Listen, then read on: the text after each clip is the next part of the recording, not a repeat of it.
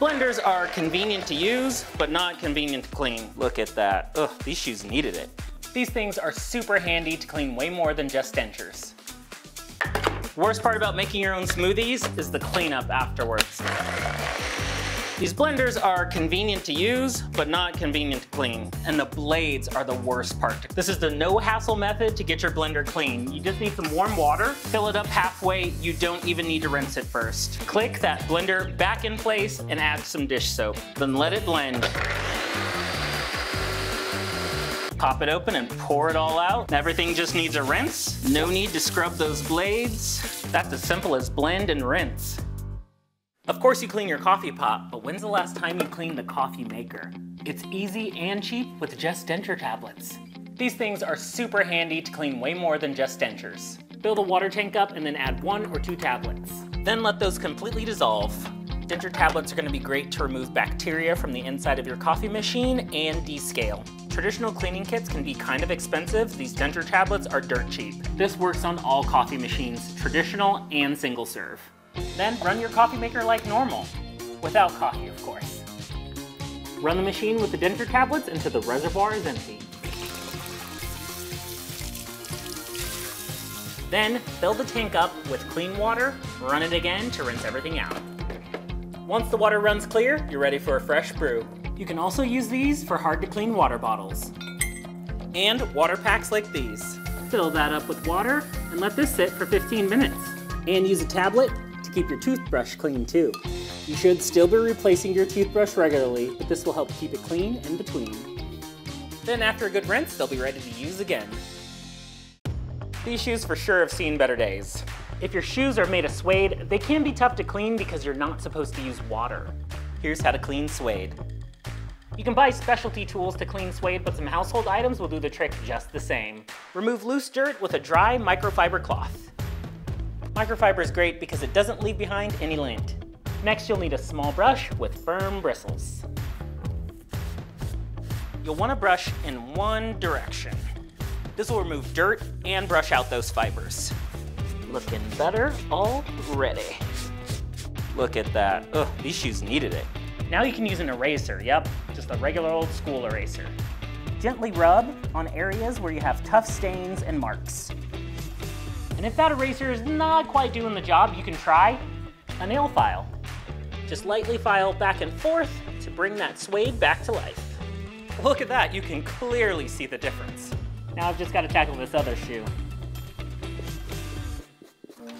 If your oven looks like this, you're due for a deep clean. I mean, it could be worse. It's not that bad. Okay, it's bad. Luckily, most ovens are self-cleaning, so problem solved. Easy as that. Just kidding. While self-cleaning is an option, it can heat up your house, create smoke, and take a really long time. I'm gonna share with you an easy, chemical-free way to clean your oven. Remove the grates, and we'll get back to these later. To start, you're gonna wanna wipe down or vacuum out any large particles from the oven. And while you're at it, remove that bottom drawer and vacuum underneath. I'm sure it's disgusting. Oh gosh, it's like a treasure chest of trash underneath here.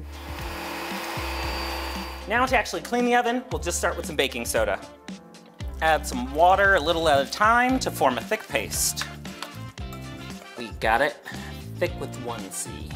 Just gonna rub this mixture all over the oven, especially anywhere where there's those dark spots. Be sure to avoid getting the mixture on the coils. And don't forget to clean the door. Let this mixture sit and work its magic for a few hours or up to overnight. While the oven's doing its thing, you can clean the grates. And if your sink's not big enough, you can consider letting these soak in a bathtub with soapy water. After that baking soda is set, it's time to just wipe it all out. It's a little easier if you start from the top and work your way down.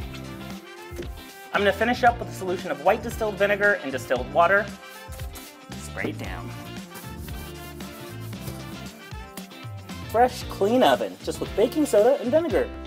That's some clean glass. Now I can see my s'mores cookie bars while they bake. If you have a stain cutting board like this, you only need two things. A lemon and some salt. I'm gonna cut this in half, dip that half into the salt, and get scrubbing. The acid from the lemon will help disinfect your cutting board, get rid of any bad smells, and the salt will help grind away those stains. You don't even need a fresh lemon. This could be an old lemon that you were about to throw away or a lemon that you've already squeezed. You never want to use chemicals on your wooden cutting board, so this is a nice natural alternative. Just give that a rinse. You don't want any water to soak into your cutting board, so dry it off right away. And finally, rub in some mineral oil to keep it from drying and cracking. And there we go, ready for our next recipe. Here's how to take a pair of regular tongs and turn them into a cleaning tool that'll make your life way easier. Gonna need two cheap sponges and some rubber bands. Okay, not that many.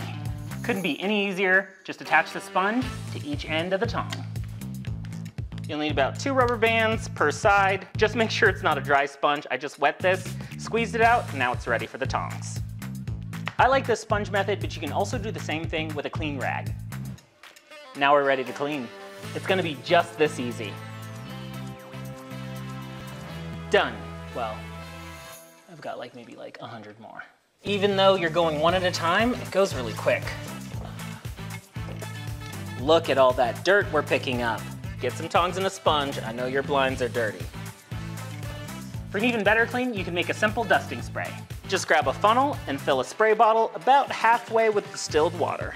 If you don't have a funnel, I'm gonna show you how to hack one out of some parchment paper. You just need a square shape and roll that up into a cone. Now just add some distilled white vinegar. Avoid pouring down the seam and you'll get a clean funnel action. Top that off with a few drops of essential oil. Before you use the spray, just give it a shake. Now I'm not just dusting, I'm actually cleaning. If these get too dirty, just give them a little rinse, squeeze them out, and you can use them again. I love this device, but there's also another method. You can do the same technique with a clean sock. This may seem a little wacky, but you have way more control of where you clean. Getting there. All right, I'm sorry, but now you have no excuses for those dirty blinds. Cleaning graters like these can be a pain. The cheese grater's just gonna shred through that sponge. With a used lemon half and a touch of soap, you have the perfect cleaning buddy. That'll loosen up all that stuck on cheese and clean those grates. Just be careful cleaning by those blades. And with a quick rinse, all that just washes right away. Here are a few items you should never put in your dishwasher. Insulated cups, anything wood, knives so they don't dull, cookware like non-stick, and cast iron. For these items, it's best to hand wash. All this candle wax may be gone, but this candle jar isn't trash quite yet. Here's how to repurpose those candle jars. These containers are so great and decorative, but we've got to get them clean first. If your candle uses a soft wax, use a spoon to scrape out as much excess as you can. Look at all that wax. If the wax is clean and you're feeling ambitious, collect it and create a new candle. Before we get the remainder of that wax out, I like to clean up any soot first. A damp towel should do the trick. Hot water is the key to melting all that excess wax.